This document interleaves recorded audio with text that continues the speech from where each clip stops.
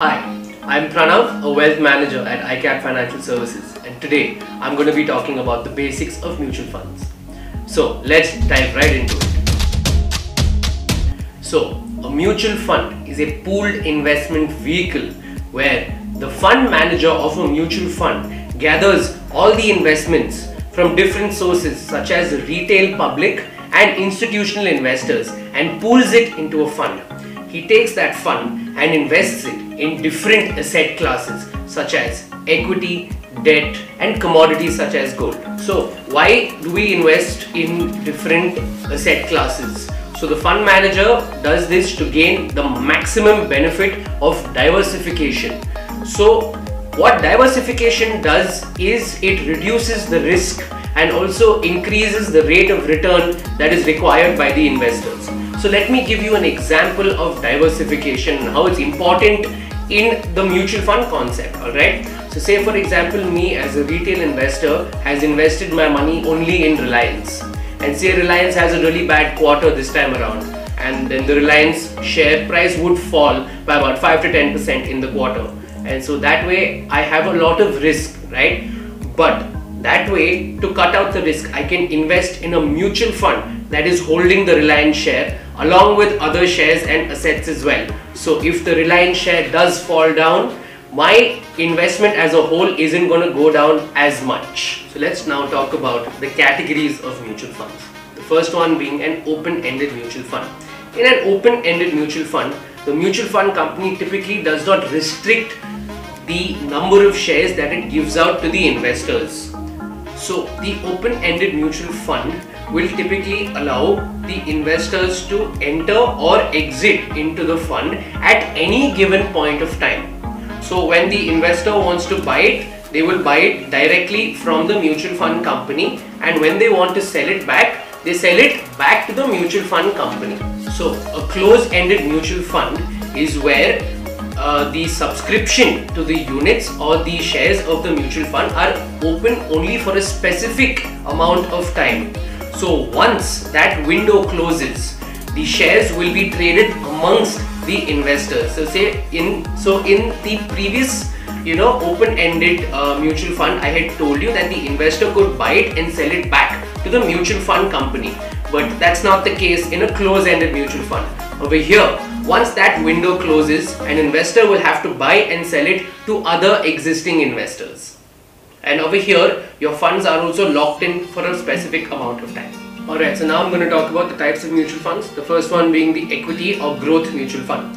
It's an extremely popular mutual fund wherein the mutual fund company allows the investor to participate indirectly in the stock market without them actually having to invest in it. So through this you know uh, equity mutual fund they invest in different sectors and you know because of the diversification we have a higher return and also high risk. This this uh, type of mutual fund is best suited for young and new investors who want to generate higher returns and also have a high risk appetite. So now the equity mutual fund can be further classified into three different types. One being the sectoral funds second being the tax saving funds and third being the index funds.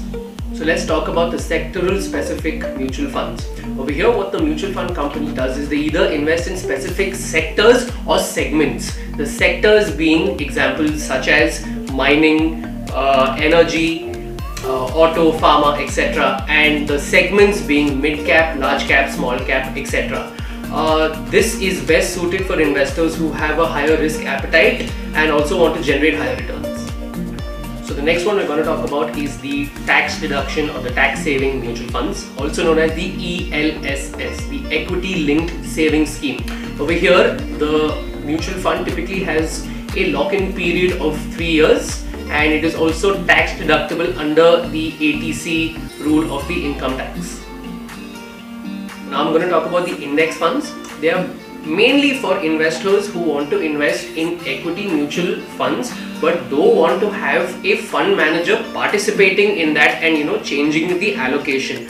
So uh, they basically follow an index. So what does that mean? So for example if my mutual fund is going to be linked or if it follows the uh, nifty 50 uh, take for example Nifty 50 has a, a weightage of 20% of Reliance. Even my mutual fund would have 20% of Reliance in it, and it would try to replicate the Nifty 50. Um, this is best suited for investors who have a lower risk appetite. So the second one being money market or liquid funds. So money market mutual funds typically put their money into short term, highly liquid debt securities so these are best suited for investors who want to generate a small amount of return in a very short period of time that are also highly liquid.